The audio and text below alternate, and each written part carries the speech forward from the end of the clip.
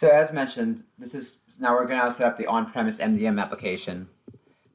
I'm just going to go into it. I don't want to show you how to, how to add one. It's pretty basic. So you see here, it's asking for terms of use and discovery URL. It's a little weird, but they flip them. So it's kind of so you got to pay attention. So you, you basically you're going to copy in your terms of use. You're going to put them in terms of use. You can copy in discovery. Do that. Um, I, they tell you to set the MDM user scope to all, but it depends on who you want to be able to enroll. So if you only want some people, you can do some, and then you basically would specify some Azure AD groups. Otherwise, just do all. Then the other portion of it, which is very interesting because they don't actually give the right information most of the time, is you're going to go into manifest, and you need to make sure under manifest that you add the device services server. You see that right there, DS1688?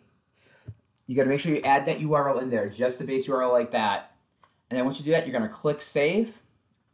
And then that's it, and you're good to go.